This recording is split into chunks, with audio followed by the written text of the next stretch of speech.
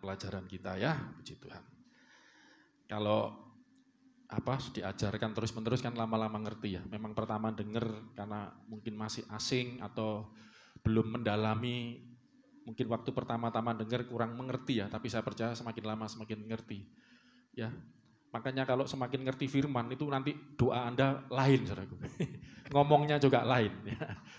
Kita sudah kita sudah belajar tentang roti hidup ya. Kita ngerti roti hidup itu apa ya kalau. Apa roti hidup itu Saudaraku? Bicara tentang apa? Firman. Udah ngerti kan udah diajarin. Kalau enggak ya masih ngawang-ngawang gitu ya. Walaupun arahnya ngerti tapi kan tapi setelah belajar mulai ngerti lah. Kita akan mendalami kembali tentang roti hidup atau firman yang hidup.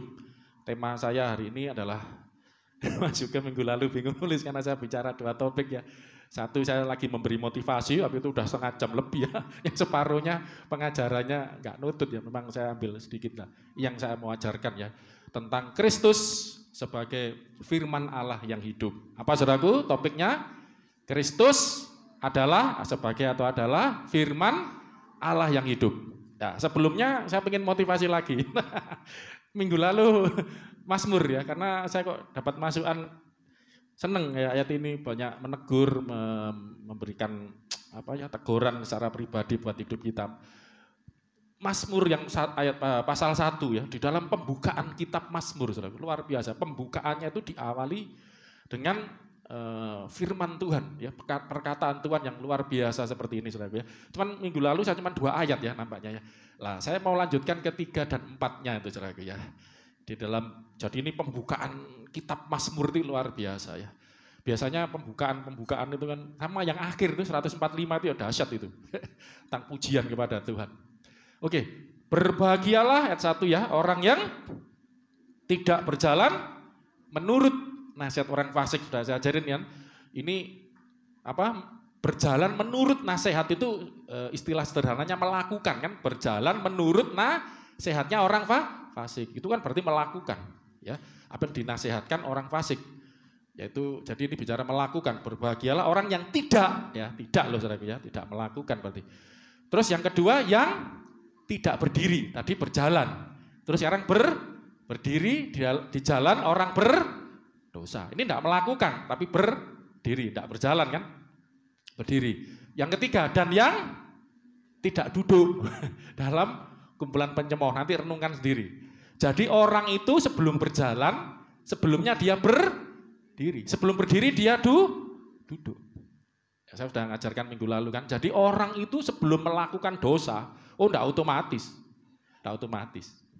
Sebelum dia melakukan, dia berdiri dulu. Berdiri dulu itu dalam arti walaupun dia tidak melakukan, tapi di dalam angan-angan dia. Sudah berdiri di jalan orang berdosa, setuju, pro. Oke, tidak masalah dengan dosa, makanya hati-hati. Tipis banget ini. Engkau belum melakukan tapi engkau sudah setuju. Makanya Yesus itu kalau ngajarkan luar biasa, penggenapannya Tuhan Yesus. Engkau mendengar firman, apa? E, jangan berzina. Nah, kan melakukan kan, jangan. Melakukan perzinahan. Tetapi aku berkata, oh itu Yesus itu firman itu ya gitu kalau ngomong. Barang siapa memandang wanita, oh, istri saya jalan dan menginginkannya, kalau istrinya nggak apa-apa suaminya. Barang siapa memandang wanita dan menginginkannya, ini belum melakukan loh, baru i, ingin. Ini berdiri. Dia sudah berjinah di dalam hatinya. Tinggal melakukan satu kali. Makanya Yesus mengajar kamu belum melakukan sudah udah hati-hati kamu, udah berdiri. Bahaya ini. Udah berjinah loh kamu, tapi dalam hati. Gitu ya. Terus duduk dalam kumpulan dan orang yang bisa memiliki pikiran-pikiran yang jahat ini contoh aja jangan selalu berjinah ya. Perbuatan-perbuatan yang kau kadang-kadang tidak menyangka kau kok melakukan begini ya? Tiba-tiba kok jadi jahat begini ya? Itu enggak, enggak tiba-tiba itu sebenarnya tanpa sadar kau sudah berdiri. Itu sudah ada di dalam pemikiranmu angan-angan di dalam di hatimu gitu ya. Makanya hati ini lain kali kita belajar tentang hati ya. Dari hati terpancar kehidupan. Udah ngumpul di hati. Tinggal meledak satu saat. Orang kalau ngamuk kan gitu ya dipendem. dipendem.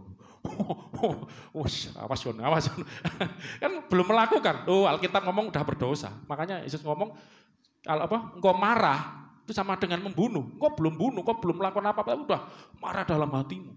Wah, tinggal satu kali meledak. ya kan?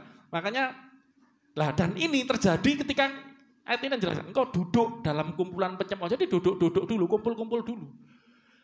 Nah dengar, sedikit diulangi ya. Bagaimana engkau bisa melakukan? Bagialah orang yang tidak berjalan. Menurut nah, nah saya mau tanya, nasihatnya didengar waktu kapan? Saudara? Waktu berjalan, ini kan berjalan menurut nah nasihat. Jadi melakukan berdasarkan apa yang didengar. Kapan dengernya? Waktu duduk dalam kumpulan pencemooh, waktu itu belum melakukan. Pernyataan sahabat kita. Kok belum? Saya kemarin sama nyonya sering-sering, aku soalnya zaman dulu, ya saya ini kan zaman dulu cangkruan, yang saya kasih contoh cangkruk, ya, sekarang pun cangkruk ya masih ada ya kumpul-kumpul. Zaman sekarang kok mungkin sendirian di kamar, tapi kok bisa nyakruk? Kok bisa? Nyakruk sama siapa? Tahu enggak? Kok sendirian di kamar, tapi kok bisa nyakruk? Bisa duduk-duduk kumpul satu kumpulan melalui apa? Medsos, HP itu Kok akhirnya dari Facebook dapat nasihat ini. Kok, kok belum lakukan? Kok belum lakukan? Medsos itu apa jadi saya nggak ngikutin. Facebook aja lo nggak punya, itu zaman dulu dibuatkan anak-anak. Terus passwordnya jangan lupa, cuma saya nggak tahu. Itu zaman jadul, gereja masih lama, dan itu saya masih ingat. Dan nggak pernah gitu. Instagram apa lagi, ya, Ya, yang aktif di situ tidak masalah, tapi ketika di situ kau sedang duduk dalam satu kumpulan. Masalahnya kumpulan apa? Kumpulan gereja itu ya kumpulan, saudara. Eklesia, bahasa Yunani-nya. Kumpulan orang percaya. Itu ada lengkapnya orang yang dipanggil keluar dari gelap, dipanggil keluar ngumpul. Yang keluar dari gelap kepada terang ngumpul. Itu panjang penjelasannya itu dari bahasa Yunani yang itu bahasa umum di sana. Orang-orang dipanggil keluar untuk masuk satu kumpulan membahas berbicara tentang keselamatan kota itu, kepentingan kayak DPR gitu loh. Membahas tentang kepentingan kota itu lain kali lah. Satu kumpulan. Gereja juga kumpulan. Lah ini masalahnya kumpulan pencemooh, pencemooh. Apa pencemooh itu? Ini satunya kelompok. Jalan orang fasik, orang berdosa, orang pencemooh. Ini satu kelompok. ini bahasa paralelnya saja gitu loh. Makanya hati-hati, ya hati-hati. Apa yang kau lakukan, makanya Alkitab mengingetin pergaulan yang buruk, merusak kebiasaan yang baik. Ya oke lah, sudah saya jelasin dulu lalu. Ayat kedua, ini orang yang tidak mengikuti ini, itu berbahagia. Tetapi yang kesukaannya lah, ini yang diharapkan, ialah Taurat Tuhan atau firman Tuhan, dan yang merenungkan Taurat itu, ya siang dan malam atau firman itu. Saya sudah jelaskan minggu lalu, kalau Anda tidak suka firman, tidak suka merenungkan firman, kosong hidupmu, akhirnya yang ngisi hidupmu adalah ya ini tadi, orang fasik, nasihatnya, pemikiran-pemikiran dunia, filsafat-filsafat dunia, cara hidupnya masuk. Dan kau anggap itu enggak apa-apa, enggak apa-apa. Sampai satu kali kau lakukan dan kau akan menangis seumur hidupmu, menyesal. Ya, bagi dunia enggak apa-apa, belum tentu bagi Tuhan. Makanya Kristen itu dosa itu kalau membahas tidak gampang. Maksudnya bukan tidak gampang, tidak sesederhana itu. Dosa aja bahasa Yunani-nya hamartia. Itu artinya bukan melakukan ini, enggak. Hamartia itu artinya panah yang ditembakkan, yang meleset dari sasaran. Bayangkan. Makanya kalau, maaf enggak seperti agama lain ngajar dosa yang bagaimana, ini, ini itu terlalu dangkal. Kalau Kristen itu engkau meleset dari sasaran, maaf, engkau kawin salah milih pun. Dosa itu. Bukan ini cobaan Allah, cerai. Makanya ketika meleset dari sasaran, udah dosa. Rencana Tuhan, ya kayak Yunus itu loh, Yunus itu salah apa sih? Suruh ke Niniwe, berangkat ke Tarsis, leset. Kamu loh suruh ke Niniwe, Niniwe tempat orang berdosa, suruh melayani, tidak mau, ke Tarsis. Loh saya misalnya dipanggil jadi hamba Tuhan, enggak, saya tak jadi apa gitu. Loh, walaupun saya melakukan hal yang baik kerja, ini untuk sosial Tuhan. Itu kan lo itu bukan rencanaku, itu dosa loh saudara. apa? Meleset dari sasaran. Bahkan saya sempat ngomong juga minggu lalu, engkau tidak berbuat apa-apapun itu juga bisa disebut berdosa. Karena engkau tahu sesuatu yang baik tidak engkau lakukan. Makanya dalam, ya lain kali bicara tentang dosa. Banyak orang ngomong aku baik sih, aku tidak perlu diselamatkan. Kan makanya konsep keselamatan itu dalam banget.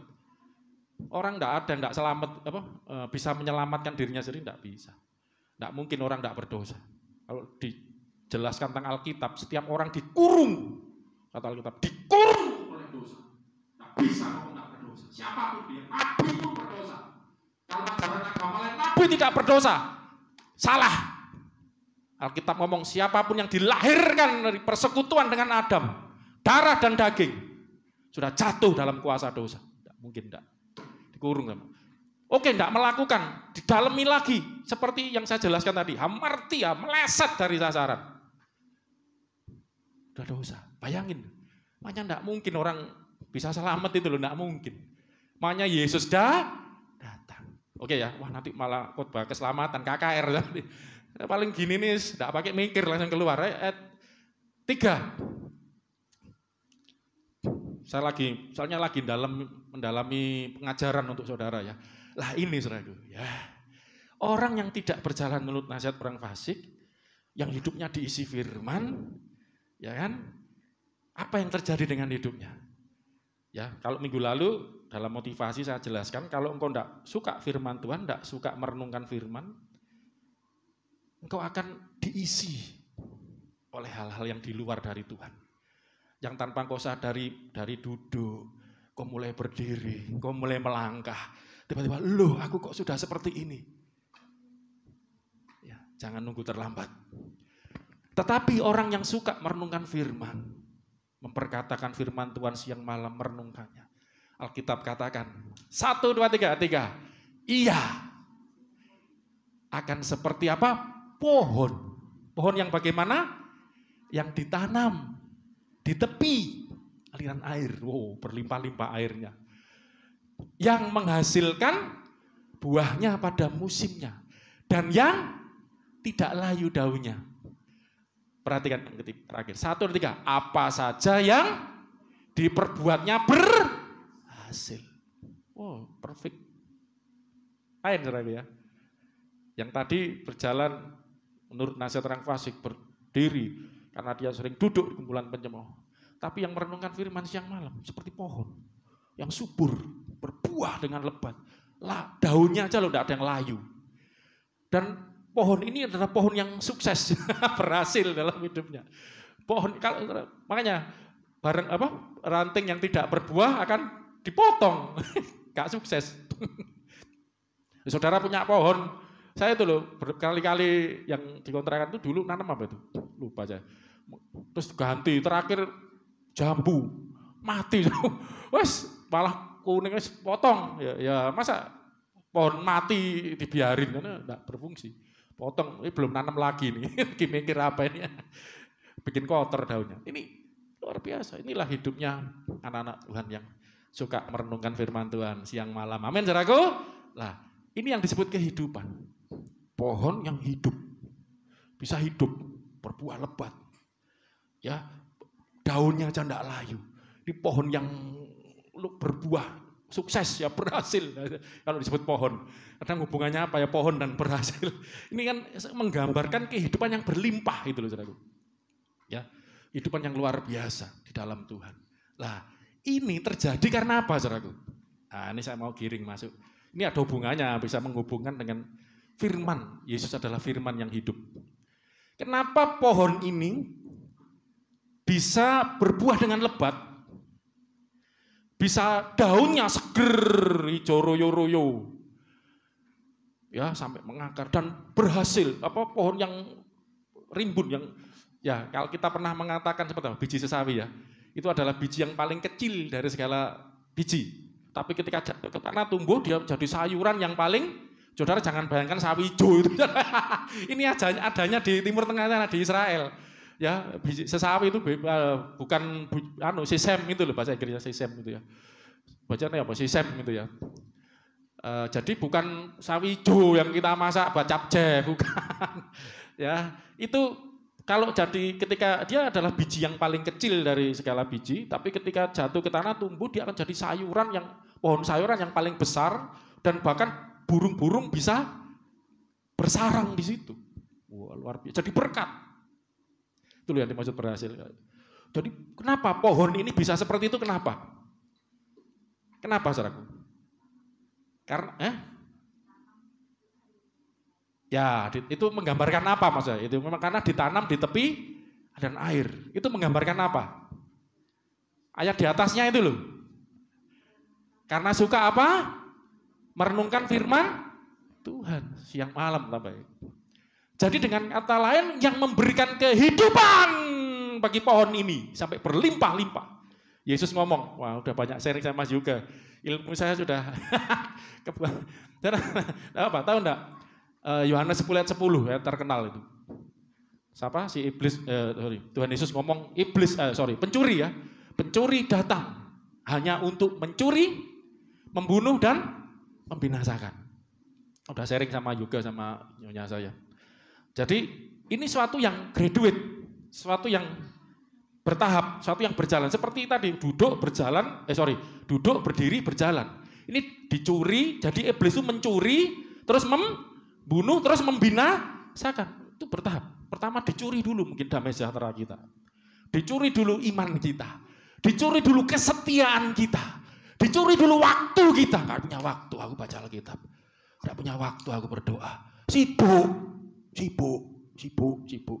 Saya mau kasih tahu, hidup di dunia ini berapa lama sih? Makanya Mas Mur itu sampai mencatat, manusia itu hidupnya 70 tahun. Kalau kuat 80 tahun. Selebihnya penuh dengan penderitaan. Apa saudara? Dengan waktu yang singkat ini, wah. Padahal setelah itu kita akan masuk dalam masa waktu yang kekal. Hidup kekal atau binasa kekal. Ini yang kadang orang tidak mikir. Dia hanya memikirkan perkara di dunia. Yang cuma 70 tahun engkau bisa nikmati. Kalau ada kekuatan kesehatan yang prima, bisa 10 tahun lagi lebih, 80 tahun. Setelah itu. Makanya kenapa kalau kita bekerja, bekerja untuk Tuhan. Sekolah-sekolah untuk Tuhan. Hidup kita untuk tuh, Tuhan. Berarti. Kalau enggak, untuk apa? Engkau kaya loh untuk apa? Untuk kau nikmati sendiri. Hei orang kaya yang bodoh kata Tuhan. Itu yang orang kaya yang membuat lumbung yang banyak untuk dinikmati dirinya sendiri. Bodoh. Yesus yang ngomong itu. Hei orang kaya yang bodoh. Hari ini juga kalau diambil nyawamu daripadamu. Sering orang tidak sampai 70 tahun. Banyak sudah kita lihat. Orang-orang yang masih muda. Panggil Tuhan. Bahkan tidak peduli kayaknya itu anak Tuhan bukan anak Tuhan. Ini sudah waktunya. Set bablas.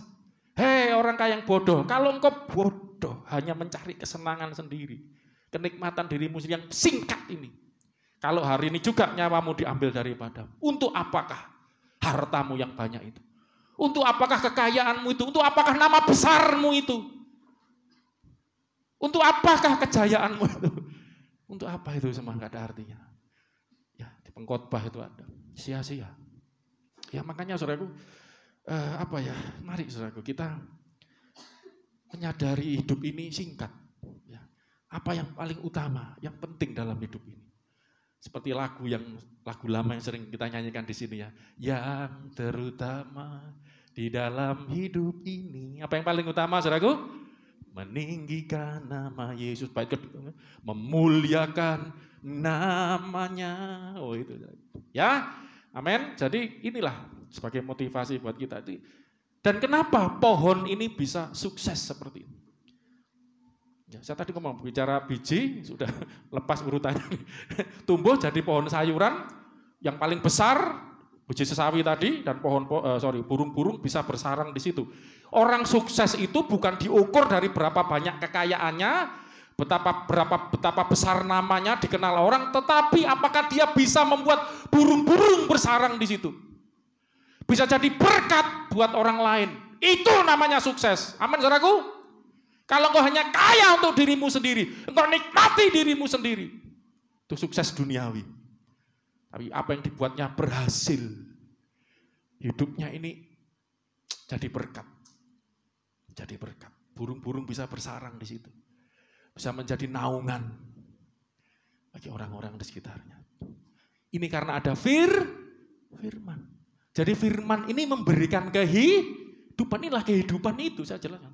Loh, saya tadi bicara mencuri, membunuh, membinasakan. Jadi ingat ya, pencuri hanya datang untuk mencuri, membunuh, membinasakan. Dicuri dulu, kemudian mulai dibunuh, dicuri imanmu segala macam. Akhirnya kok kebunuh pelan-pelan, dibunuh pelan-pelan. ya, kau sudah mulai tidak percaya sama Tuhan, kau tidak damai. ya engkau mulai mulai jauh dari Tuhan, dibunuh persekutuan dengan Tuhan. Saudara tahu enggak waktu Adam dikatakan saat engkau makan buah ini engkau akan mati. Tapi waktu Adam makan, Adam tidak mati. Karena yang dimaksud mati itu sebetulnya adalah ketika terpisah jauh dari Tuhan, mati rohnya, rohaninya. Kehidupan di dalam dirinya mati yang membuat kosong itu itu. Ya kosong kan? Apa yang diisi? Jiwamu masih ada, pemikiran, akal budi, senang, tapi nggak pernah puas. Karena hanya Tuhan yang bisa memuaskan. Ya, nanti lain kali kita akan belajar ketika saya nanti khotbah tentang mulai jadian ya. Nanti bahas banyak di situ. Membunuh, membinasakan. Binasa itu lebih dari membunuh. Kalau membunuh, Yesus pernah ngomong, janganlah takut kepada manusia. Yang hanya bisa membunuh jiwamu. Secep mati sudah. Tapi takutlah kepada Allah yang bukan hanya bisa membunuh, tapi bisa melemparkan engkau kepada neraka. Ya itu ngeri, makanya takutlah pada Tuhan. Lah iblis ini mencuri, membunuh, membinasakan dalam arti apa? Akhirnya setelah orang dicuri imannya segala macam tadi ya, mulai dibunuh pengharapannya, hubungannya dengan Tuhan dan akhirnya binasa. Ya, satu yang graduate. Lah ayat selanjutnya tetapi ya puji Tuhan Yesus ngomong apa? Tuhan Yesus, aku datang memberikan kamu hidup dalam segala limpahan. Lah orang yang apa eh, kemakmuran. Langsung lo kelimpahan itu hubungannya selalu dengan berkat ma materi. Padahal ayat ini kalau dihubungkan konteksnya tidak begitu. Ini kan sesuatu yang graduate. Pencuri atau iblis itu mencuri membunuh membinasakan. Tetapi aku Yesus datang memberi kamu hidup dan dalam segala kelimpahan memberi hidup dan dalam kelimpahan ini bukan sekedar hidup tapi hidup yang nah, bertumbuh seperti tadi kematian itu bertahap ya, mulai dicuri, dibunuh, dibinasakan. Hidup ya gitu kok diberikan benih. Nanti kalau belajar tentang keselamatan, kita akan belajar kita tuh terima benih. Iman itu juga benih. Nanti disirami tumbuh, tambah imannya, tambah bertumbuh, bertumbuh. Berlimpah itu gitu, bertumbuh, bertumbuh sampai sempurna. Lah inilah yang Tuhan kerjakan karena Yesus adalah firman. Dan dia memberi kehidupan kehidupan. Oke, kita akan langsung masuk dalam pengajaran ya. Tuh, kok buka ini. Sekarang kita lihat uh, kita akan menemukan banyak ayat ya. Jadi kita belajar dua minggu lalu ya tentang ini sudah tentang roti hidup ya. Tadi di dalam doa juga sudah saya bawa ya. Di mana uh, dua minggu lalu kalau tidak salah itu uh, dua minggu ya kita belajar Kristus sebagai roti hidup ya roti hidup yang turun dari surga dan roti hidup itu ketika Yesus ngomong akulah roti hidup yang turun dari surga barang siapa makan dagingku minum darahku akan hidup selama lamanya ya roti itu atau bicara makanan ya memberikan kehidupan tetapi roti dari surga firman Allah itu ya memberikan kehidupan juga jadi irisan katanya adalah Persamaannya adalah kata kehidupan. Makanan itu memberikan hidup. Firman juga memberikan hidup. Cuman bedanya makanan itu hidup, memberikan hidup yang terbatas selama di dunia. Tapi firman itu memberikan hidup yang ke kekal. Makanya Yesus ngomong, ada tertulis manusia hidup bukan dari roh, roti saja. Memang manusia hidup dari roti, tapi bukan itu saja. Itu terbatas.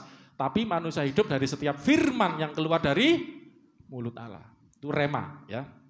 Firman yang keluar dari mulutnya Allah. Itu perkataan-perkataan yang keluar dari mulut Allah. Oke, kita akan melihat jadi maksud saya begini, kita belajar tentang Kristus sebagai firman Allah dan hari ini firman Allah yang hidup. Jadi minggu dua minggu lalu kita sudah belajar tentang roti hidup, ya roti yang memberi kehidupan. Firman pun juga memberi kehidupan. Jadi ketika Yesus mendeklarasikan dirinya, akulah roti hidup, Yesus sedang mendeklarasikan dirinya bahwa akulah firman. Dan saya akan menunjukkan ayat-ayat supaya seolah-olah tidak dipaksakan. Oh, roti kok jadi firman. Roti itu makanan, firman itu juga makanan, cuman makanan yang rohani gitu ya. Nah, saya akan tunjukkan ayat-ayat bahwa kata kehidupan ini disematkan, ditaruh beriringan dengan kata firman. Coba kita lihat ayat-ayatnya ya. Kita lihat dulu kisah para rasul. Jadi roti hidup itu sama dengan firman Allah. Karena keduanya memberi makanan, memberikan kehidupan. Ya, irisan persamaannya di situ. Bahkan firman itu beri hidup yang jati. Kita tadi udah belajar seperti pohon yang ditanam di tepi aliran air yang berbuah, yang daunnya tidak layu, berhasil dalam yang dikerjakan. Itu menjelaskan ada kehidupan yang tersalur kepada pohon itu ya melalui firman yang direnungkan siang dan malam gitu Tapi sebelum saya masuk ke sana, saya akan tunjukkan ayat-ayat Kisah Rasul 5 ayat 20 di mana kata hidup itu disematkan ditaruh ya e, disematkan bersama dengan kata firman. Udah, kisah Rasul 5 20, 1 2 3. Pergilah berdirilah di bait Allah dan beritakanlah apa? Seluruh firman hidup. Jadi bukan cuma firman, beritakanlah firman. Tapi beritakanlah firman, firman hidup itu kepada orang banyak. Itu, firman hidup itu. Beritakanlah firman hidup itu. Pada kenyataannya para rasul, para murid menjelas, memberitakan apa? Saudaraku? Firman yang diberitakan itu apa saudaraku? Keselamatan di dalam Ye, Yesus, kehidupan di dalam Ye, Yesus. Nah, kira-kira begitu. Jadi itu penjelasannya bisa luas, tapi saya batasi aja ternyata kata hidup itu disematkan bersama dengan firman. Nah, banyak ayatnya. Kisah Rasul 738, terutama di dalam pelayanan para rasul ya. Kisah 738. Tadi itu yang ngomong malaikat ya, eh, para rasul sempat dipenjara, dilepaskan. Itu luar biasa lo baca tadi pasal 5. Itu pejabat-pejabat yang memenjara itu ya, orang-orang Yahudi itu ngelihat di penjara masih terkunci semua, orangnya udah nggak ada. Saya tadi sharing-sharing sama anak saya waktu di jalan. Saudara tahu tak? Nanti lain kali kita mendalami, lain kali terus ya. Kisah para rasul. Saudara tahu enggak, kisah para rasul itu adalah kisah para rasul. Namanya judulnya para rasul. Yang terjadi, maaf saudaraku, tiga tahun setelah Yesus pelayanan. Yesus itu kan mulai melayani umur 30. Pelayanannya sekitar 30, eh, sekitar tiga tahun setengah. Setelah itu naik ke surga. Sepuluh hari setelah naik ke surga, jarak pendek kan. Roh Kudus dicurahkan. Lah saat itulah para rasul mulai bereaksi action, the act, bahasa Inggrisnya itu kisah para rasul, the act, actionnya, actionnya roh kudus yang mengurapi para rasul gitu. Loh, itu kan berarti jaraknya pendek setelah pelayanan Yesus. Dan itu malaikat-malaikat, nanti kata saya akan khotbah malaikat juga. Luar biasa. Saudara tahu enggak? Ada malaikat loh saudaraku yang bersama kita. Bukan cuma Tuhan, malaikat itu diperintahkan Tuhan itu untuk untuk apa ya? Eh, menjaga kita gitu. Cuman belum menyadari kan, ya, karena tidak belajar, tidak ngerti. Nanti lain kali itu dan malaikat itu membeb, apa, melepaskan para rasul dari penjara. Terus ngomong, pergi, beritakan firman Tuhan yang hidup ini tadi. Wow, waktu itu mereka setelah keluar, lah ini luar biasa ya. Orang habis di penjara mungkin sudah ampun-ampun ya, kapok, kapok ini enggak. Keluar beritakan Injil, lu kaget, beritakan firman hidup. Pejabat-pejabat eh, orang Yahudi, ahli Taurat, ya yang menangkap mereka loh di penjara kok di sini dicek penjara masih terkunci kok sudah lepas. Itu kuasa Tuhan melalui malaikat itu. Luar biasa. Itu kejadian tiga setengah tahunan setelah, setelah Yesus pelayanan itu. Ya jadi tahun keempat setelah Yesus pelayanan lah kira-kira itu. Banyak mujizat-mujizat oke ya. Kemudian kisah Rasul 738 ini Stefanus ketika berapologet dengan orang-orang Yahudi. Musa inilah yang menjadi pengantara di dalam sidang jemaah di padang gurun di antara malaikat yang berfirman kepadanya di Gunung Sinai. Kita sudah pernah belajar eh, berapa kali saya tunjukkan ayat ya, waktu di Gunung Sinai Tuhan menyatakan kemuliaan. Ternyata itu disebut malaikat. Ya, kita sudah belajar tentang malak Yahweh, malak Yehova ya, malaikat Yahweh, malaikat Allah yang adalah teofani ya dari Tuhan Yesus. Malaikat yang berfirman kepadanya di Gunung Sinai dan nenek moyang kita. Dan dialah Musa maksudnya yang menerima satu dua tiga firman-firman yang hidup. Jadi firman hidup, firman-firman yang hidup. Jadi firman itu hidup. Gitu. Kata hidup itu disematkan kepada firman. Maksudnya apa? Biar kita ngerti bahwa firman itu bukan sekedar perkataan. Di dalam firman itu ada kehidupan gitu loh saudara. Dan kita akan belajar Kristus adalah firman yang hidup itu. Firman Allah yang hidup itu. Kita akan, jadi nggak asal main klaim, kita akan belajar nanti. Satu lagi biar mantep ya. Jadi ini nggak kebetulan, oh cari-cari ayat banyak. Filipi 2:16. Filipi 2:16. Sambil berpegang pada apa saudaraku? Firman kehidupan. firman kehidupan. Agar aku dapat berpegang pada Kristus bahwa aku tidak percuma berlomba, tidak percuma berusaha. Tidak sia-sia hidupnya. Karena berpegang pada firman kehidupan. Dengan kata lain, Anda harus ngerti hari ini bahwa firman itu hidup. Makanya namanya firman yang hidup firman kehidupan. Tangkap dulu baik-baik. Ya.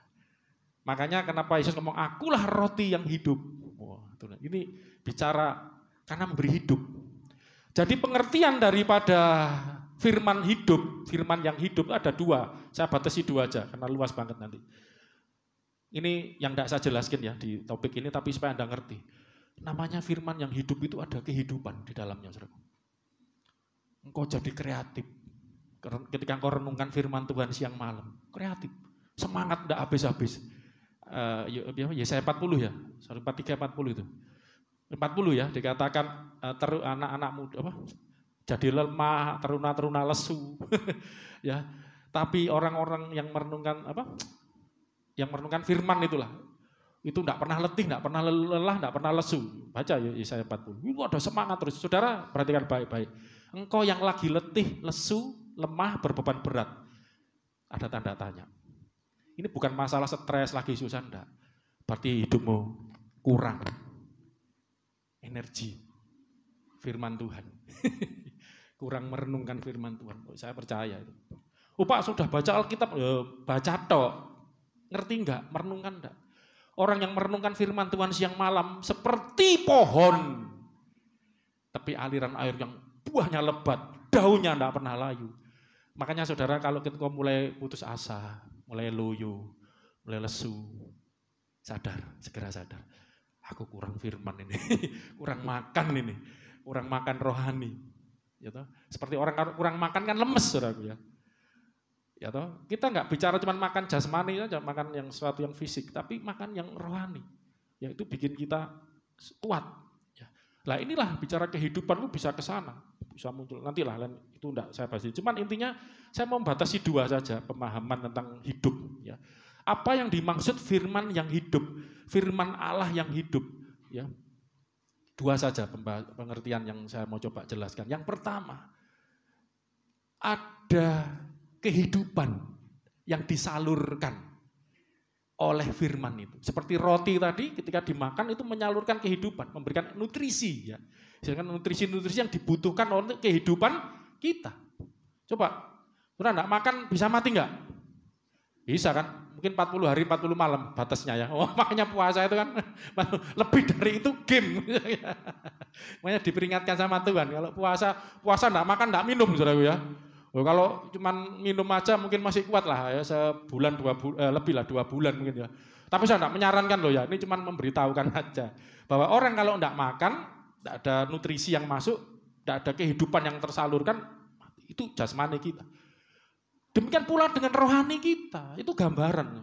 Rohani kita kalau tidak ada firman hidup, tidak ada kehidupan yang diterima, tidak ada apa ya nutrisi rohani, tidak akan ada energi rohani, tidak akan ada kehidupan rohani.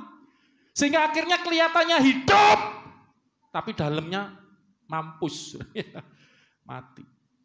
Makanya betapa penting firman Tuhan itu. Amin saudaraku? Penting enggak firman Tuhan itu? Kadang kita enggak menyadari. Ya toh? Kita enggak makan sehari dua hari enggak apa-apa, enggak makan. Sorry, apa? Enggak makan sehari dua hari kita bingung. Ya toh? Wah ini harus makan, enggak lemes, enggak punya tenaga segala macam.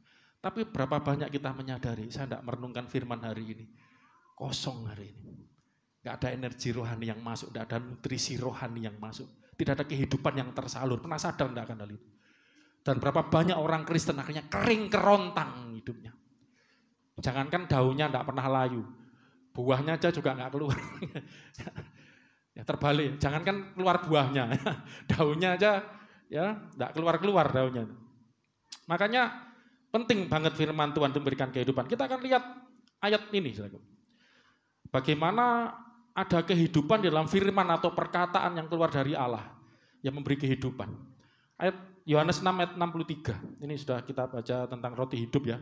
Tapi kita baca lagi tidak apa-apa. Rohlah yang memberi hidup. Eh, belum. Romat Yohanes 6 ayat 63. Rohlah yang memberi hidup. Daging sama sekali tidak berguna. Satu, dua, tiga. Perkataan-perkataan yang ku katakan. Jadi perkataan-perkataan yang Yesus katakan, Yesus yang ngomongnya Tuhan Yesus. Kepadamu adalah apa? Roh dan hidup. Makanya ayat ini satu perikop dengan Yesus berkata, akulah roti hidup barang siapa makan dagingku minum. Itu bicara percaya, menerima perkataan Tuhan Yesus. Itu ada kehidupan, tidak akan mati. Tidak akan hidup selama-lamanya. Kira begitu ya. Jadi memberikan kehidupan. Tapi saya kebablasan nih. Sebelum di sini saya akan tunjukkan ayat di Amsal ya. Katanya anak-anak muda sekarang didorong Mas juga baca Amsal ya. Anak saya sudah dari dulu apa awal-awal baca Alkitab baca Amsal ya anak muda cocok itu baca Amsal. Nah, saya akan tunjukkan di Amsal ini jangankan perkataannya Tuhan. Perkataan saudara semua, saudara dan saya manusia, perkataan kita itu juga ada hidupnya loh. Jangankan perkataan Tuhan. Makanya kalau tidak percaya, oh bosok perkataan. Ini kan seolah-olah saya mau mengajarkan gini supaya Anda tidak ada kesan memaksakan ya. Oh roti hidup, itu bicara makanan, itu berikan kehidupan itu firman kayak dipaksakan. Enggak, udah ini penjelasan ini nanti lama-lama akan ngerti. Firman itu kan perkataan, cuman gara-gara bahasa firman, istilah firman aja bikin kita kayak lain gitu loh ya. Padahal firman itu terjemahan dari perka, perkataan, mau logos, mau rema. Sudah baca ya di WA Group, sudah jelaskan dari kamusnya strong ya memang saya kurang mendalamkan ke sana sehingga mungkin pemahamannya macam-macam ya tapi inilah ya rema atau logos itu perkat, firman ya terjemahan dari firman itu yang dimaksud perkataan baik perkataan kata-kata yang diucapkan maupun logos itu ide dari perkataan itu pemikiran gagasan dari perkataan itu ya maksud dari perkataan itu oke kita akan lihat perkataannya manusia, mau logos, mau rema. Jadi manusia itu juga punya logos, punya rema, perkataan yang diucapkan atau gagasan. Ya. Lah Allah kita sebagai pencipta kita, manusia diciptakan serupa dan dengan Tuhan. Allah kita juga seperti itu ya. Dia malah lebih sempurna kan. Lah sebelum masuk nanti, oh nanti aja deh. Kita akan bicara pribadi. Ini dulu aja. Perkataan kita ini ada kehidupan. Ya, karena kita diciptakan serupa dengan Tuhan ya dikit-dikit ya Masmur ya katakannya. Manusia itu diciptakan hampir sama dengan Tuhan. Hampir, hampir sama ya dengan Tuhan. Ya masalah. Dulu Adam sebelum jatuh dosa. Kalau sekarang jatuh manusia itu apa kehilangan kemuliaan Allah. Oke, kita lihat Amsal 18 21. Nanti biar ini Amsal semua, bukan ayat-ayat Amsal-Amsal semua. Nanti biar Anda tertarik. Saya tujuan saya kan Anda tertarik belajar firman lebih dalam, merenungkan siang malam, ya seperti pohon tadi. Hidup dan mati dikuasai apa? Lidah. Siapa yang menggemakannya akan memakan buahnya, akibatnya. Jadi hidup mati itu dikuasai apa? Lidah. Omongan. Siapa yang menggemakan? Lo omongan ini bisa membuat hidup, bisa bikin mate. Ya Saya tidak bicara mati. Ternyata omongan kita bisa memberi hidup. Tapi yang dimaksud ini kan bukan memberikan seperti Yesus, berikan hidup yang kekal. Ini yang dimaksud hidup ini apa? Ayo, jadi penafsiran sederhana aja. Apa ini maksud hidup?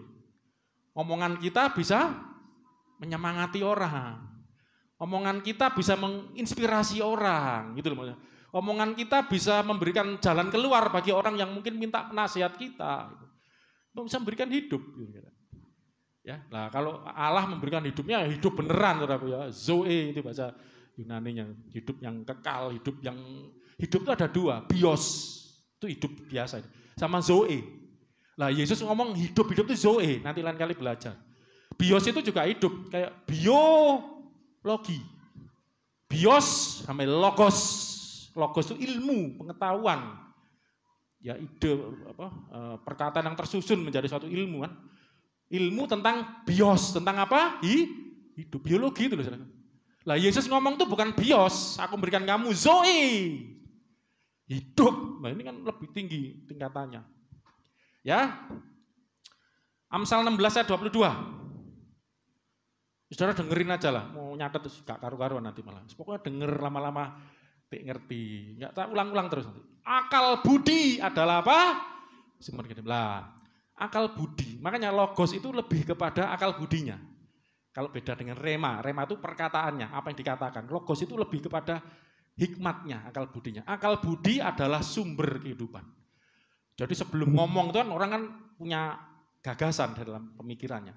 Jadi lebih ke situ, akhirnya diungkapkan. Akal budi adalah sumber kehidupan bagi yang mempunyainya. Tetapi siksaan ini agak unik ya. Bagi orang bodoh ialah kebodohannya. Ya. Akal budi sama orang bodoh. Jadi orang yang berhikmat, berakal budi itu hikmat ya. Orang yang bodoh ini tersiksa ya oleh kebodohannya. Nah akal budi, orang yang berakal budi ini menerima memiliki sumber kehidupan di dalam dirinya. Ada semangat, ada gairah, ada inspirasi, dan ada ide. Dan ini didapat dari firman tuh, Tuhan. Akhirnya firman Tuhan itu korenungan siang malam, akal budi muncul. Firman itu tercetak, terekam, tertulis semua di akal budimu. Ya makanya bagus istilah akal budi. Akal sama budi. Akal budi. Kalau gini kan kelihatan. Akal budi, bukan akal aja, saudara. Akal sama budi. Kalau akal toh licik nanti. Haruslah kamu cerdik seperti ular, tulus seperti bulus. Nah, udah siapa tadi bilang bulus? Tulus seperti merpati akal bulus lah. cerdik seperti ular, tulus seperti merpati. Karena ular itu binatang yang paling cerdik. Saudara kalau tidak cerdik kalah, ya. Ular itu kan gambaran si jahat yang cerdik, bolak-balik ketipu ya. Khilaf aku. Makanya cerdik seperti ular, tulus seperti merpati akal budi. Oh, akal budi ini dipenuhi firman, sumber kehidupan. Loncat. Amsal 13 ayat 14. At oh belum Amsal 13. Oh, 14 Mbak Asih. Satu, dua, tiga. Ajaran. Orang bijak, orang berakal budi, mengeluarkan pengajaran. Nah, ini perkataan. Firman. Karena ada kata firman ini jadi Padahal firman itu yang dimaksud perkataannya Tuhan. Jadi tapi perkataan yang dimaksud. Ada perkataan, ada pengajaran. Ajaran orang bijak adalah apa? Sumber kehidupan. Ini manusia loh. Kita, ini masih bicara manusia. Yang diajarkan orang yang berakal budi, orang yang bijak tadi. Itu bisa memberikan kehidupan. Bukan cuma kehidupan. Sum, sumber. Loh, luar biasa enggak? Nyumber. Ya. Terus, ada waktu ya. Amsal 10, 11. Satu dan tiga, mulut orang benar adalah sumber Ini kan istilah saudara Mulut orang benar mulut, sakit giginya sembuh belum? Tumbuh kasihan. Aduh. Lah, mulut itu bukan bicara mulutnya ini. Ini kan istilah mulut orang benar. Ini yang dimaksud apa, saudara? Perkataan. Perkataan orang benar adalah sumber kehidupan. Ini orang loh yang ngomong, saya belum bicara Tuhan. Bayangkan orang berakal budi. Dan akal budi yang tertinggi, ya orang bolehlah belajar macam-macam. Tapi yang tertinggi adalah hikmat Tuhan. Firman Tuhan. Ya toh, takut akan Tuhan. Amsalkan permulaannya adalah eh permulaan hikmat adalah takut akan Tuhan. No, takut Tuhan, bukan hikmat muncul dari situ sumber. Makanya baca Amsal. Terus siapa sih yang nulis Amsal, saudara? Yang dipakai Tuhan menuliskan Amsal, dapat pencerahan, dapat wahyu nulis Amsal. Siapa? Salomo. Salomo itu orang yang terpinter, yang pernah hidup setelah itu nggak ada lagi. Orang yang terkaya, ya seluruh dunia nggak ada lagi. Orang yang terganteng seluruh dunia, istrinya aja seribu. eh, ya apa? Saya aja satu. Oh, no. oh nggak perbandingan itu. Ini kan orang yang dimaui oleh seluruh dunia, kepengin seperti itu ada semua Salomo itu, milik itu. Udah kaya, keren, ya istri cewek tinggal antri. Zaman dulu boleh raja ya, punya kekuasaan, harta, tahta, wanita punya semua. Yang dicari ya dan hidup kudus lagi ya, harta tahta wanita bejat ya percuma. Tapi lihat, takut Tuhan. Ya memang sempat akhir hidupnya tapi menurut penafsiran bertobat. Pengkhotbah itu kan masa tuanya. Semuanya sia-sia, sadar ya.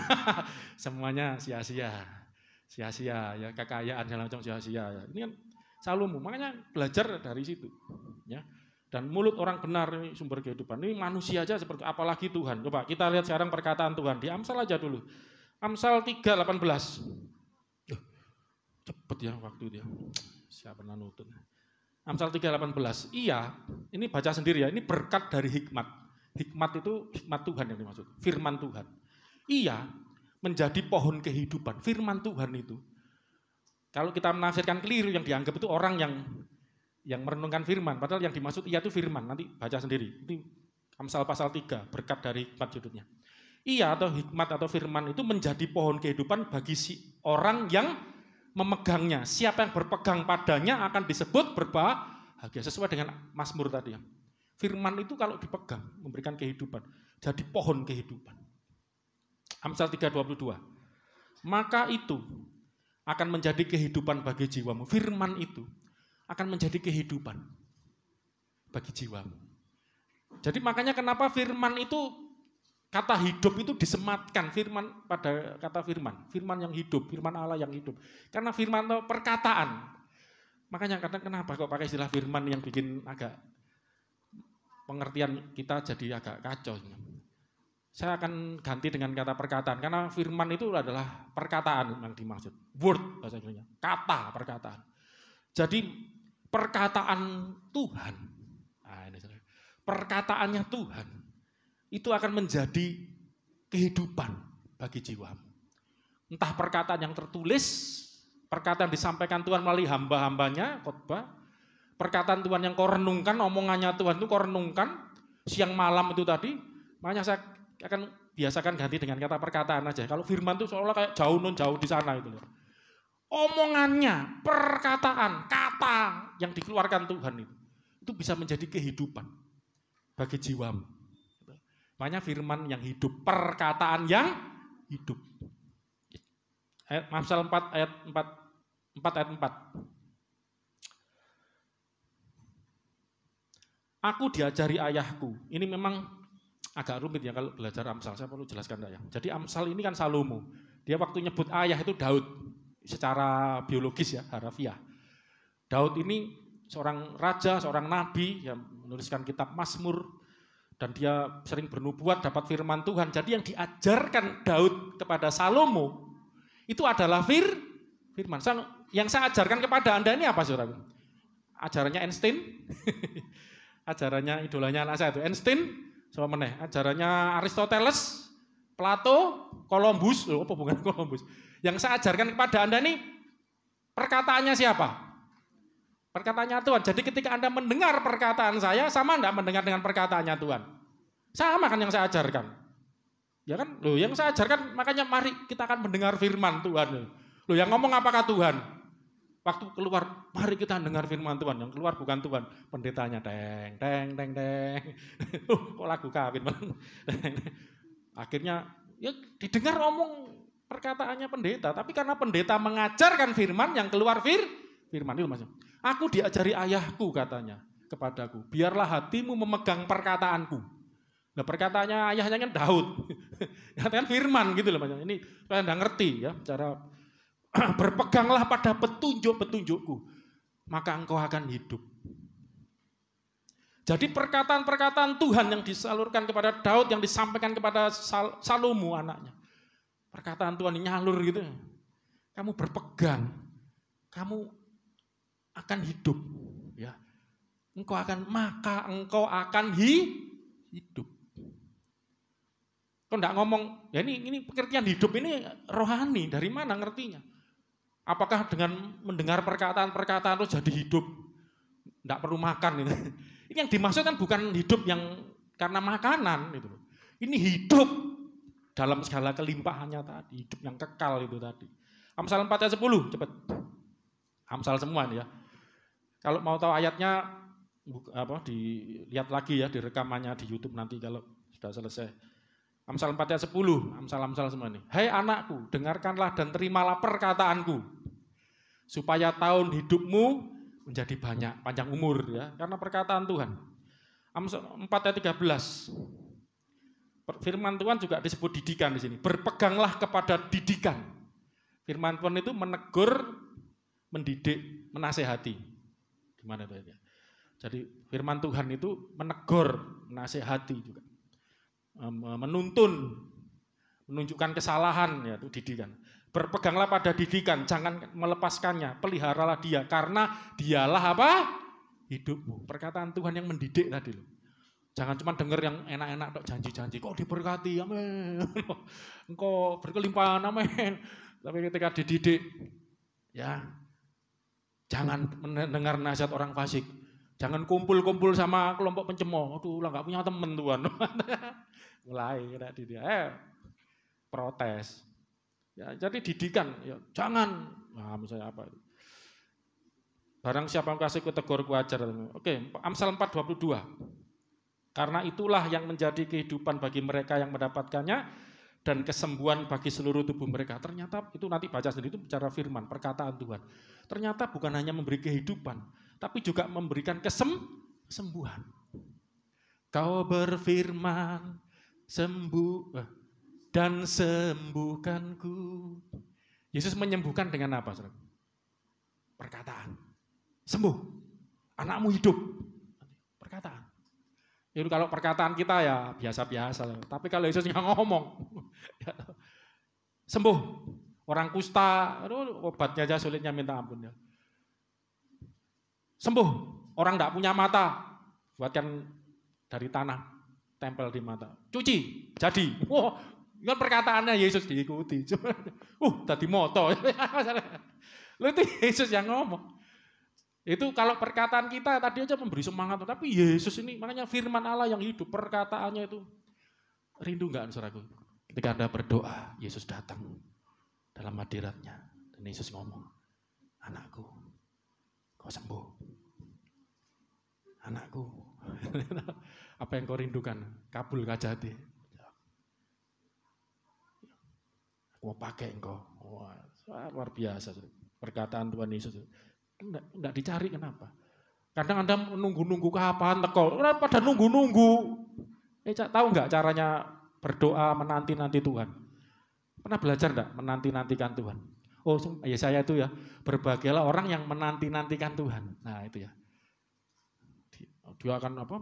Seperti Raja Wali yang tumbuh sayap terbang tinggi segala macam. Ini kekuatan. Saudara menantikan Tuhan itu kayak apa, saudara? Semedi, Di Alkitab kan ada meditate itu. Itu diterjemahkan merenungkan firman Tuhan siang malam itu meditate, meditasi. Memeditasikan firman Tuhan. Saya mengajar kepada Anda, kalau Anda mau berdoa yang baik ya, eh, ini salah satu cara doa yang baik. Saya sudah pernah ngomong kapan itu ya. Jadi kalau berdoa itu jangan seperti bawa kertas yang penuh dengan laporan, penuh dengan permintaan, disodorkan pada Tuhan, Tuhan suruh stempel. Saya sudah mengajarkan. Kalau kita berdoa, ini gambarannya ya. Eh, metamorfosisnya eh apa metaforanya itu Anda membawa kertas kok kosong. Kok kosong? Tapi Anda tanda tangan dulu di bawahnya. Apa saja yang ditulis setuju. Siapa yang nulis? Tuhan yang nulis.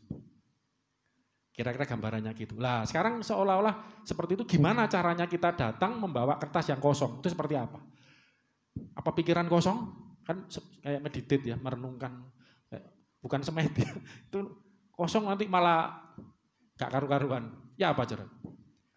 Waktu Anda datang pada Tuhan, renungkan. Meditate itu makanya merenungkan firman Tuhan. Renungkan firman. Jangan ngelamun, jangan kosong itu salah juga. Menanti kapan Tuhan datang, kapan dijamah Tuhan. Jangan. Renungkan firman. Lah masalahnya, Anda kalau tidak pernah baca firman, langsung direnung noy lo opo. Ini penting, makanya saya mendorong terus baca Alkitab, baca Alkitab. Nanti ada kita ketika belajar Roh Kudus, Yesus mengirim Roh Kudus menyertai kamu, tinggal dalammu. Dia akan mengingatkan segala sesuatu yang telah kuperintahkan firman Tuhan. Itu perkataan Tuhan sudah diperintah. Lah kalau tidak pernah baca, Roh Kudus ini tanda petik mau mengingatkan, sedingatkan lu opo kosong, kosong akalnya, eh nggak ada isinya. Mau diingatkan apanya? Makanya ketika engkau merenungkan firman Tuhan, saat itulah nanti ya Tuhan itu bisa bicara gitu. Firman itu seperti jadi hidup gitu. Firman itu tiba-tiba menjadi pencerahan gitu. Itu sering saya alami. Amin. Siap renungkan firman? Amin. Itu caranya renungkan. Jadi kalau berdoa jangan cuman laporan, cuman permohonan. Lima menit, mari, tak jamin selesai. Bisa satu dua menit. Ya Tuhan, aku hari ini mau berangkat sekolah, mau berangkat kerja. Berapa menit itu ngajak doa itu. Tuhan, lindungi perjalananku ya sampai tujuan. Jaga rumahku ya Tuhan, aman, sentram, sentosa. Terima kasih Tuhan, amin. Satu menit tidak sampai.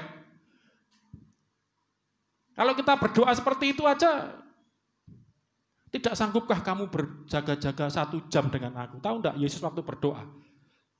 Ngomong apa? Ya Bapak, jika sekiranya cawan ini mungkin berlalu, biarlah berlalu. Tapi biar bukan kehendak aku, kehendakmu. Kalau saudara ngomong satu menit, itu aja selesai. Tapi kenapa itu bisa satu jam? Ngapain waktu yang satu jam itu? Makanya berdoa itu tidak asal cuman ngomong. Berdoa itu adalah suatu komunikasi, komunian, persekutuan dengan Tuhan. Anda datang seperti selai kertas yang kosong hatimu itu. Nantikan Tuhan. Nah, waktu menantikan itu renungkan firman itu. Renungkan Tuhan kok baik. Ingat ingat. Lah cuman enggak pernah baca ini yang menjadi masalah. Makanya orang kalau enggak baca Alkitab mau berdoa saya enggak yakin. Doamu lopo isi. Jangan-jangan doamu ngaco, ngawur, doamu menurut ya ya Yakobus pasal 4 Doa yang tidak dijawab Tuhan. Kau mengikuti keinginanmu sendiri. Makanya berapa banyak orang kecewa ketika dia berdoa. Lain kali kita perdalam lagi tentang doa. Aduh waktunya. Amsal 7 ayat eh, Amsal 6 ayat 23. Karena perintah itu pelita. Firman itu kata Tuhan itu juga satu perintah. Ajaran itu cahaya. Sebut juga ajaran. Dan teguran yang mendidik itu jalan kehidupan. Ini satu paralelisme ya, saya sudah ngajarkan tentang paralel itu ada firmanmu, pelita bagi kakiku. Perintah atau firman Tuhan, perkataan cahaya, eh, sorry, pelita, ajaran itu cahaya. Terus teguran itu jalan kehidupan. Ini yang bikin kita, me, inilah disebut firman hidup itu. Oke ya, wah panjang ini ya. Um, Amsal 7 ayat 2. Karena penting semua ini. Satu, dua, tiga. Berpeganglah pada perintahku. Ini yang dimaksud firman Tuhan, perkataan Tuhan. Dan engkau akan hidup. Ya, Kehidupan itu, inilah saya tunjukkan ayat-ayat, maaf ya, ini perjanjian lama semua loh. Saya selalu ngomong gini kenapa? Perjanjian lama itu kitabnya orang ya Yahudi. Ini bukan rekayasanya para rasul, muridnya Yesus, rekayasanya orang Kristen. Bukan. Ini kitabnya orang Yahudi. Orang Yahudi sampai hari ini tidak percaya, belum percaya, menolak Yesus Kristus sebagai Tuhan dan Juru Selamat. Itu kitab mereka. Di situ kita menemukan, Yesus ngomong itu loh nulis tentang aku. Sama orang-orang Yahudi, kitab-kitab sucimu itu nulis tentang aku, tapi kamu tidak datang mencari aku. Ini kan apa namanya ironis. nah nanti ada ceritanya, akhirnya firman itu diberikan kepada bangsa-bangsa di luar Yahudi. Oke, jadi Nah ini Amsal 835, ini bagus banget ini. Amsal 835, 1, 2, 3. Karena siapa mendapatkan aku. Ini firman, saudara baca sendiri ya. Amsal 8 itu, itu konteksnya tentang hikmat. Nanti Mas Yogi. Di situ malah dengan hikmat Allah menetapkan langit dengan pengertian dan segala macam itu menciptakan dengan hikmat, dengan hikmatnya selain dengan firman. Nah hikmat ini atau firman Tuhan ini, jadi perkataan Tuhan ini juga ada unsur hikmat ide gagasan di dalam. Karena siapa mendapatkan aku sang hikmat itu tadi, firman itu tadi, perkataan Tuhan tadi mendapatkan hi, hidup dan Tuhan berkenan akan dia. Makanya apa saudaraku ya, ini kita belajar nih enggak kebetulan kalau enggak dipaksakan kalau roti hidup itu adalah firman hidup sama sama dengan sama memberikan kehidupan. Cuman roti itu kan jangka pendek. Makanan kan itu. Firman itu makanan yang kekal. Tapi Yesus ngomong, akulah roti hidup. Bukan cuma roti biasa, roti hidup. Yesus juga firman yang hidup. Ya, ini masih perjanjian lama semua. E, mendapatkan aku, mendapatkan hidup. Wah, ini panjang. Nah, kita lewat aja. Sekarang kita lihat dari perkataan Tuhan Yesus sendiri. Bagaimana Yesus berkata bahwa dia adalah firman Allah yang hidup. Ya. Kita lihat di dalam Yohanes pasal 5. Mana tadi? Bentar. Yohanes pasal 5. Ayat 24. Coba baca ini. Yesus yang berkata, Yesus yang ngomong. Satu, dua, tiga. Aku berkata kepadamu.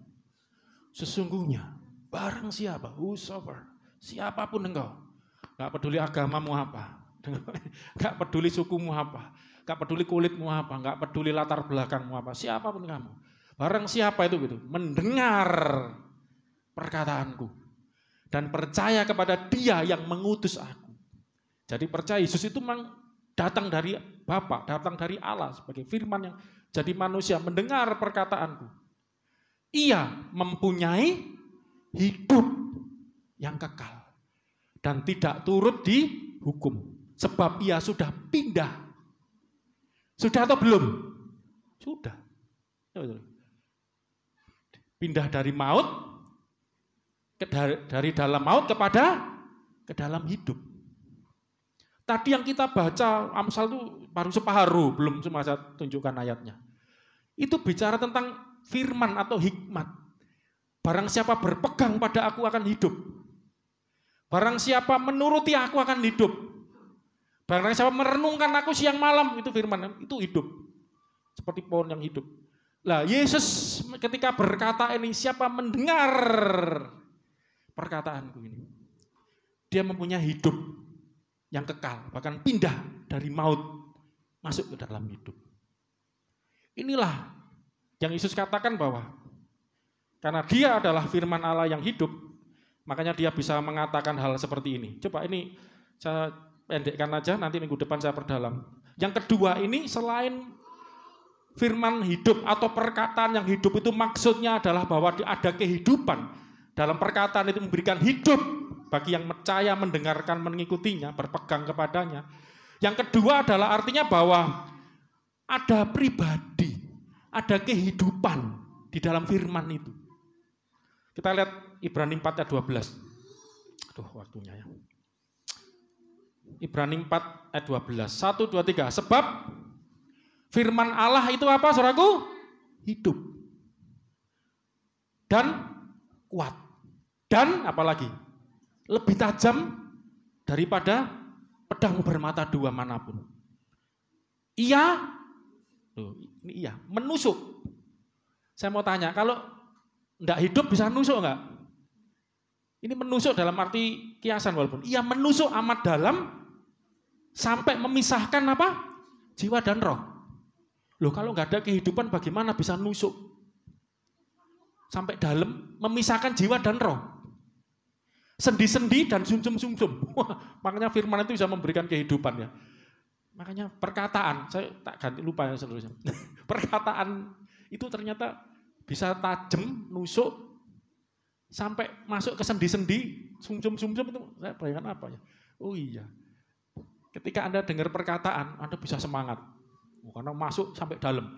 Ketika dengar perkataan, remuk, redam hatimu, disakiti. Itu kan sampai sumsum, perkataan itu bisa menghidupkan, bisa matikan. Coba renungan. Jadi, tetapi hati dikatakan, iya itu menusuk sampai dalam, memisahkan jiwa dan roh. Iya sanggup perkataan itu loh, firman Allah itu, perkataan Allah itu sanggup membedakan. Lah ini pertimbangan dan pikiran hati kita. Coba renungkan, ayat ini menunjukkan bahwa firman itu ada kehidupan, ada pribadi di dalam Yang dimaksud firman perkataan Allah itu, ini siapa itu? Eh bisa membedakan pertimbangan pemikiran ini bukan benda mati gitu loh maksudnya. Ada pribadinya. Lah, para rasul sudah menjelaskan. Satu, satu Yohanes 1 ayat 1 sampai 3. Cepat-cepat. Satu Yohanes 1 1 3. Baca cepat ya. Apa yang telah ada sejak semula, yang telah kami dengar, yang telah kami lihat dengan mata kami, yang telah kami saksikan, yang telah kami raba dengan tangan kami tentang firman hidup. Loh, firman hidup bisa dilihat, bisa didengar, disaksikan, diraba, dicekel raba itu saudara ya. Itulah firman hidup, itulah yang kami saksikan, itu kami tuliskan kepada kamu. Hidup itu telah dinyatakan dan kami telah melihatnya. Dan sekarang kami bersaksi, aduh ya. Dan memberitakan kepada kamu tentang hidup yang kekal. Sorry, tentang hidup kekal yang ada bersama-sama dengan Bapa. Hidup kekal. Akulah roti hidup yang turun dari sorga, itu hidup kekal. Firman, nanti saya tunjukkan, firman itu juga di sorga. Mana tadi? yang ada bersama-sama dengan Bapa dan yang telah dinyatakan kepada kami. Apa yang telah kami lihat, telah kami dengar, kami beritakan kepada kamu juga supaya kamu beroleh persekutuan dengan kami, tiga itu ya. Dan persekutuan dengan kami adalah persekutuan dengan Bapa dan dengan anaknya Yesus Kristus. Ini yang diberitakan. Anaknya Yesus Kristus ternyata adalah hidup yang ada bersama-sama Bapa di sorga. Akulah roti hidup yang turun dari sorga. Saya tunjukkan ayat ini. Aduh, Mazmur 119 ayat 89. Jadi yang topik eh, poin kedua ini saya sedang menunjukkan yang dimaksud hidup. Firman Allah yang hidup itu ada hidupnya. Ada pribadinya, ada sosoknya di dalam yang disebut firman, perkataan Tuhan ini. Ini bukan sekedar kata-kata biasa. Coba ayat ini. Mazmur 119 ayat 89. 1, 2, 3. Untuk selama-lamanya ya Tuhan. 1, 2, 3. Perkataanmu, firmanmu. Saya pakai perkataanmu. Tetap teguh di mana? Perkataan Tuhan, firman Tuhan itu di mana? Di surga. Makanya cepat Yohanes 6 ayat 35. Kenapa Yesus berkata seperti ini? 35 dan 36. Sorry, 35 nanti loncat 38. Kata Yesus kepada mereka. Jadi firman itu di sorga ya. Akulah roti hidup. Barang siapa datang padaku tidak lapar lagi, tidak percaya kepadaku tidak akan haus lagi. Ayat 38 lompat. Sebab 1 2 3 Aku telah turun dari sorga Bukan untuk melakukan kehendakku, tetapi untuk melakukan kehendak dia yang telah mengutus aku. 39, dan inilah kehendak dia yang telah mengutus aku. Supaya dari semua yang telah diberikannya kepada aku, jangan ada yang hilang, tapi ku bangkitkan pada akhir zaman. Ini yang memberikan kehidupan itu begini. Dan siapakah Yesus itu? Ayat 50-nya, lompat 50. Inilah roti yang turun dari sorga. Barang siapa makan daripadanya tidak mati. 51 selanjutnya. 1, 2, 3 baca sama-sama. Akulah roti hidup yang telah turun dari surga. Jikalau makan dari roti ini, ya hidup selama-lamanya. Dan roti yang kuberikan, dagingku, kuberikan untuk hidup dunia. Makanya saya tidak memaksakan untuk arti roti hidup itu firman. Enggak, ayat ini sudah menjelaskan kepada kita. Ayat-ayat tentang kehidupan. Barang siapa berpegang pada kuatkan hidup, berpegang pada firman, pada firman memberikan kehidupan-kehidupan. Jadi firman itu memberikan kehidupan. Dan yang kedua, bahkan firman itu sendiri ada adalah ada kehidupannya di dalam, ada pribadi di dalamnya itu. Ada di sorga. Makanya ngomong, akulah roti hidup yang turun dari sorga. Aku turun untuk melakukan kehendak Bapakku. Jadi ini bukan sekedar perkataan. Firman itu bukan sekedar perkataan kata-katanya Bapak, tapi ada kehidupan. Di dalam perkataannya Bapak ini ada ada sosoknya. Makanya kenapa disebut logos? Ada ide. logos itu saya sudah jelaskan berkali-kali ya. Kalau kata-kata ini namanya apa? Rema. Logos itu lebih kepada ide dari perkataan tadi, hikmat dari perkataan tadi. Dan itu tadi udah baca itu, ya semua itu menunjukkan ada kehidupan di dalam firman. Coba ini dua terakhir ya. Saya mau tunjukkan di Alkitab ini udah biasa istilah personifikasi. Ingat ya, personifikasi. person itu manusia, pribadi, orang. Firman itu dipersonifikasikan, personifikasi firman. Contohnya, Mazmur 147 ayat 15. Coba saya tunjukkan tadi ini.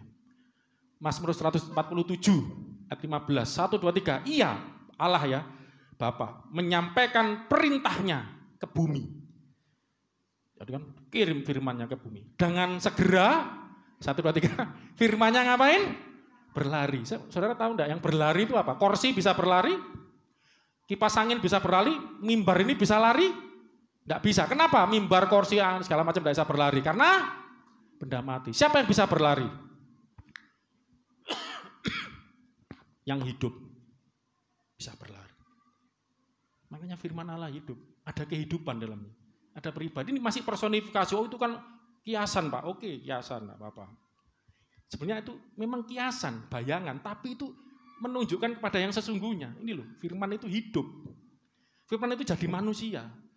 Logosnya Allah, ide, gagasan, hikmatnya Allah itu yang ada dalam diri Allah bersama-sama Allah yang beri kehidupan bagi dunia itu datang ke dunia.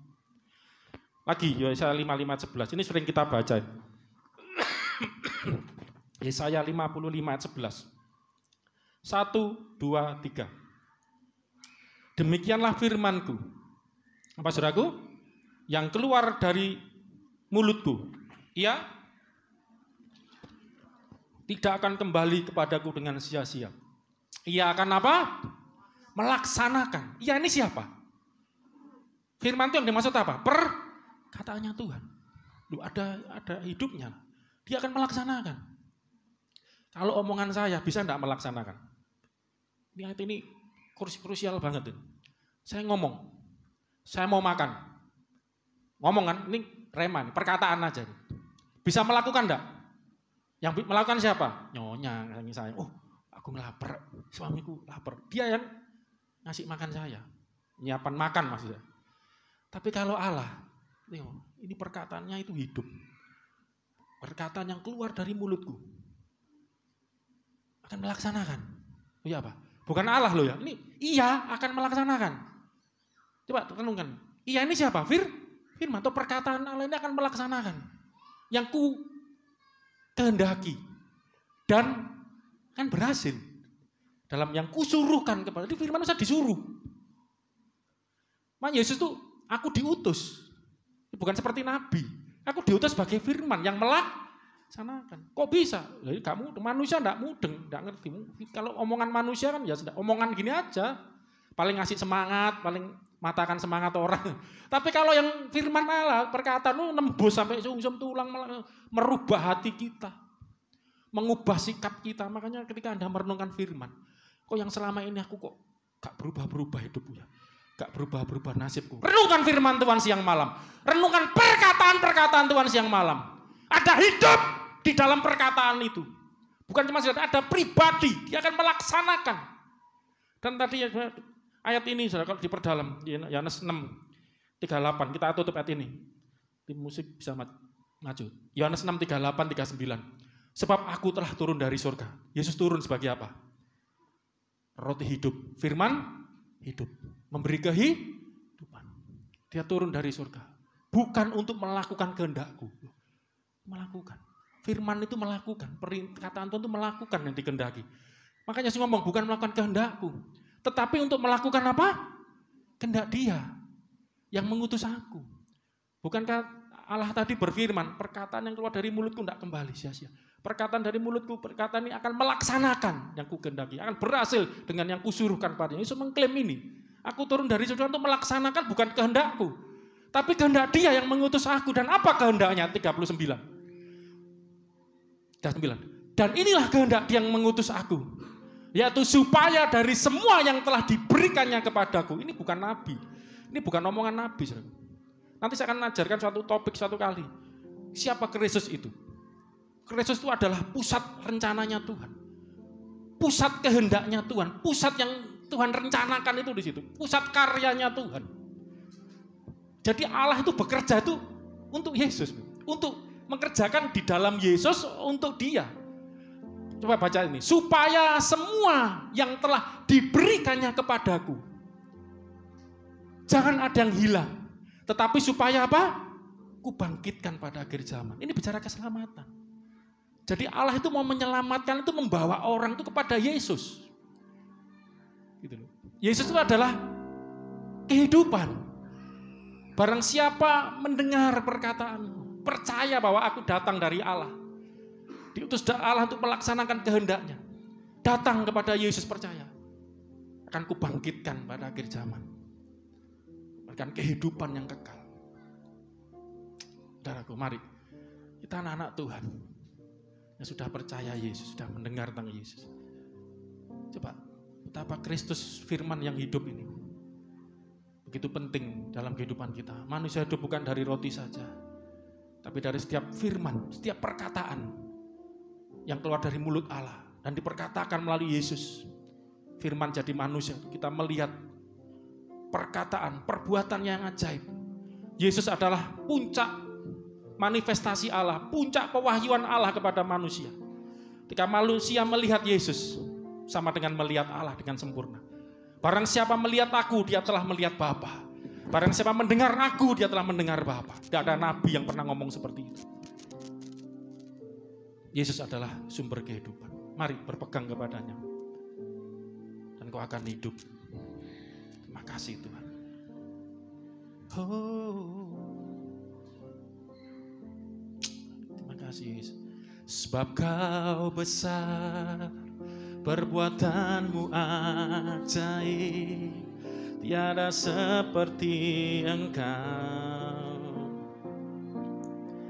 Tiada seperti engkau, sebab kau besar, perbuatanmu ajaib, tiada seperti engkau. Tiada seperti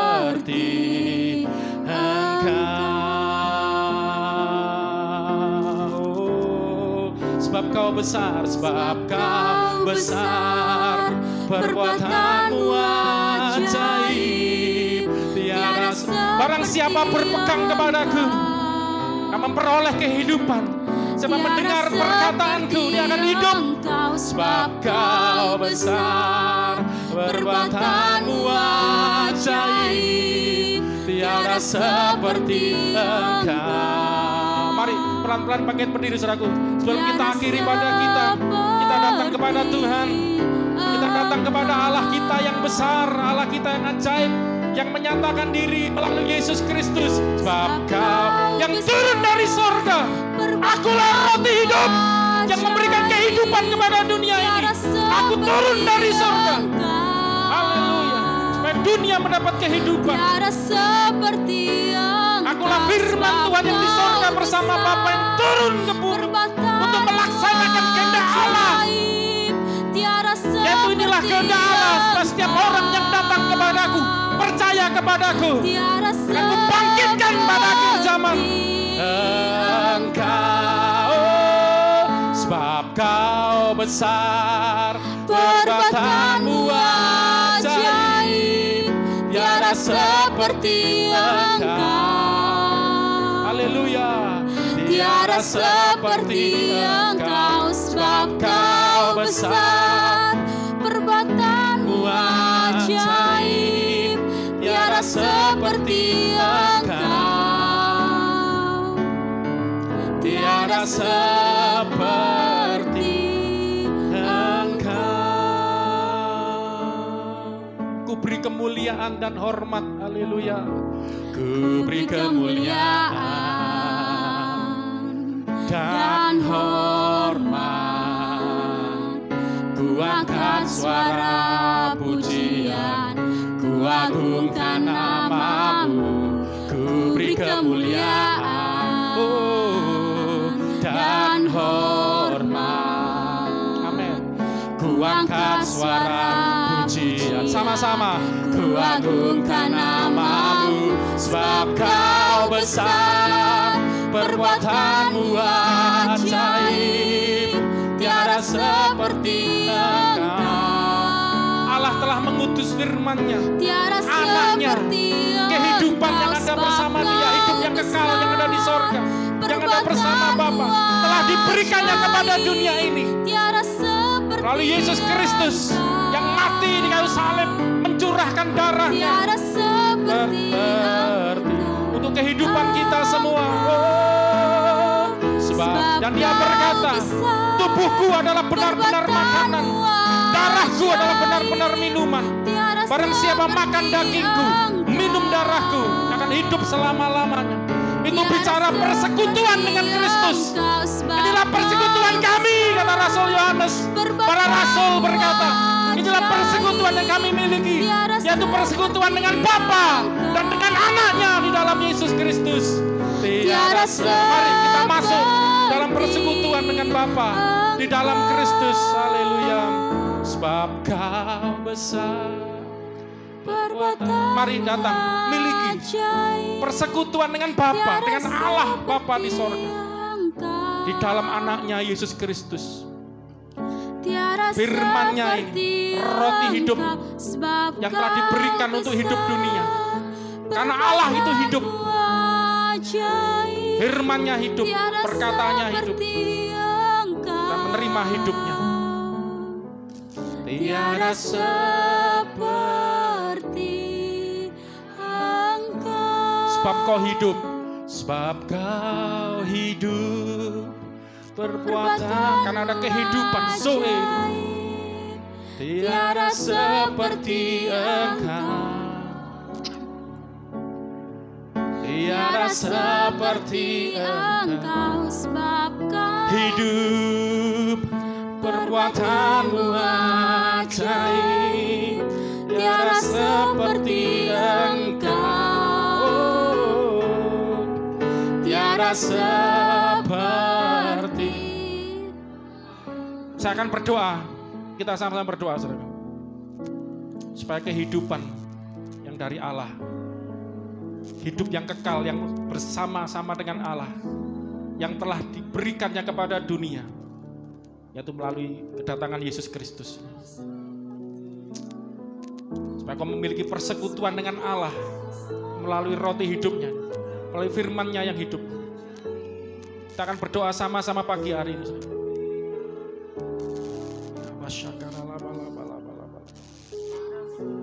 Kita sudah belajar sejak awal tadi. Kristus adalah firman yang hidup. Firman yang hidup adalah Kristus. Firman yang memberi engkau kehidupan. Firman yang memberikan hidup. Engkau menjadi hidup. Zoe, bukan cuman bios. Bukan hidup yang biasa-biasa. Bukan sekedar asal hidup, tapi benar-benar hidup. Kau akan kreatif, kau akan bersemangat, berapi-api, tidak gampang lelah, tidak gampang letih lesu, tidak gampang putus asa. Karena ada kehidupan ada dari perkataan Allah melalui Kristus yang kau terima, kau percaya, Kristus yang kau terima menjadi iman di dalam hatimu, memberikan hidup, bahkan sampai kekal nanti. Yang saat ini ambil keputusan, aku mau renungkan perkataan-perkataan yang hidup itu. Perkataan Aristoteles tidak hidup. Perkataan Plato, Einstein, siapa pun tokoh-tokoh dengan segala hormat. Mereka manusia biasa. Perkataannya tidak ada kehidupan. Mungkin perkataannya memberikan ilmu pengetahuan terbatas, memberikan semangat terbatas. Tetapi perkataan Allah, perkataan yang hidup, bahkan kekal. Dan kita anak-anaknya diberikannya perkataan untuk direnungkan siang malam. Dimeditasikan, diimani, dipegang, dilakukan. Kamu akan hidup. Kamu akan hidup. Kamu akan umur panjang. Kekayaan hormat. Terima. Nah, ada perkataanku. Diam di hatimu. Bertumbuh di hatimu. Mari ambil komitmen. Siap, mau, haus, rindu. Supaya perkataan-perkataan Tuhan itu direnungkan, bertumbuh di hatinya, dipikirkan siang malam, dirindukan siang malam, memiliki persekutuan, relasi dengan firman perkataan-perkataan itu selalu menjadi inspirasi hidup. Yang rindu supaya perkataan itu jatuh di tanah yang baik, hati yang baik, hati yang subur. Angkat tanganmu, saudara. Dat- Angkat tangan bukan pada saya, kepada Tuhan. Supaya Tuhan melihat mereka yang rindu. Tuhan menjamah saat ini. Kira mata kira maso ya nalamase. Lihat tangan-tangan yang diangkat Tuhan. Mereka membuka hati. Send, kirimkan perkataanmu. Send your word and heal our disease. Kirimkan firmanmu dan sembuhkan kami. Kirimkan perkataanmu. Bangkitkan, bangunkan. Dalam nama Yesus. Hidup. Hidup. Ada perkataan hidup datang dalam hidupmu. Ikina lama so, ya lama so. My Jesus. Terima, percaya pada Kristus, firman yang hidup. Percaya dia. Barang siapa mendengar perkataanku, kata Tuhan Yesus. Dia pindah dari maut kepada hidup. Hidupmu sudah dipindahkan, ditransferkan. Tidak lagi hidup di dalam dosa, tidak lagi hidup di dalam maut. Aku mulai engkau memiliki hidup akan sampai kekal. Terima kasih Tuhan. Ucap syukur. Terima kasih. Sebelum kita tinggalkan tempat ini, kita percaya bahwa kita memiliki persekutuan dengan Allah di sorga.